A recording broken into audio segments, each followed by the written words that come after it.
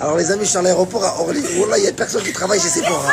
Regardez, elles m'ont toutes suivi. C'est pas possible.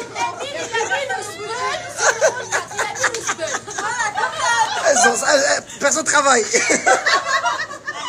Elles m'ont suivi. Voilà, incroyable. Non, elles vont venir au spectacle. Je vais vous éclater, voilà, les meufs de Sephora. Il a dit, nous offre le pestac, je pense. Voilà, c'est bon?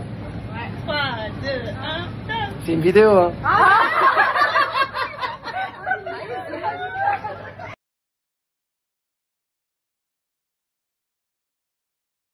Amis, qui dit spectacle dit suivez. Qui dit suivez dit bouton du jour. Voilà, rendez-vous ce soir à Rabat, les amis. Je me suis réveillé à 9h du matin. On dirait un fonctionnaire comme à Rabat. Voilà, 9h du matin. Voilà, je suis prêt, comme ça. Rendez-vous ce soir pour les gens qui trouvent plus de place à Casa. Casa, on est complet. Pour ceux qui veulent venir à Casa, venez à Rabat. C'est ce que je vous conseille. Il reste les places. Voilà, les amis. Ciao, à ce soir.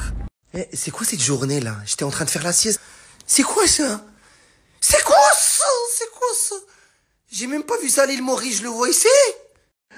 Tu sais, le plus flippant, c'est quoi? C'est pas quand tu vois l'araignée, non. C'est quand tu la vois plus. Elle a disparu au moment où je faisais la story. Rabbi, je vais dormir, j'en peux plus.